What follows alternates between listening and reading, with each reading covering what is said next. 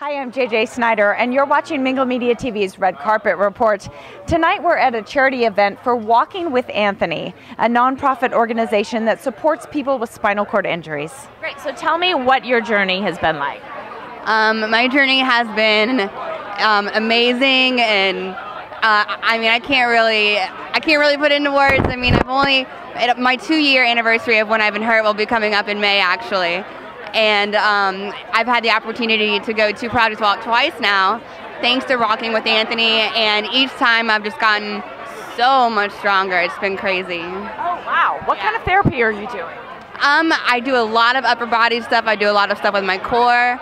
Uh, they do a lot of things trying to reju- rejuvenate my nervous system and my legs, and my body's definitely responding. But I mean, I mean, you can see it just in my daily life how much stronger I am. Well, you know, it's amazing to me because I, you know, read a lot of stories about you before I met you here tonight, and I think at the time I read you were you had like almost no mobility in your arms. Yeah. So there's huge changes going on. Well, I mean, I could always move them, but I just they weren't strong enough for me to like, you know, think about using them. I guess you could say, you know, they weren't. But I mean, now they feel like normal. You know, I, I feel like I used to. Oh, good. Yay! And you have a dog, don't you? I have two dogs now. Tell me, tell me. I have a yellow lab, and I had him before I was hurt. And I have a half yellow lab, half blue tick hound that I got after I was hurt. Yeah. Are they getting along? They are actually best buddies. They're funny together.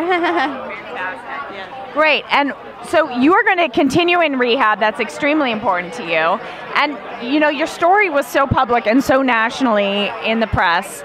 Have you become sort of a um, spokesperson for spinal injury? Um, I'd like to think I'd become a spokesperson. I think a lot of people aren't educated about the injury. Um, you know, unless you know somebody who's been hurt or you're the one who's been hurt, it, I mean, it, there's not a lot of information out there, and I'd like to educate people, you know, on, on what we go through. We go through a lot, and there, you know, recovery is possible. We just need people to see that and help us. Uh, you require a lot of support, but I mean, yeah, it takes a lot of support. It's a very, very expensive injury, and a lot of us don't have the means to do it ourselves. Wow, that's really tricky, isn't it? Because uh, I'm sure a lot of people feel like if they don't have the finances, they don't have the options. But I know that's part of what we're here tonight to talk about, isn't it? Exactly. Options is a big thing. A lot of us, you know, felt like, you know, your you know, health insurance gave me 20 days out of the hospital of therapy. And that's like to figure out your whole life, you know, 20 days like I mean, that's nothing. And that's certainly not about recovery. That's just about like the very, very, very basics. Like no one ever tells you that you can recover.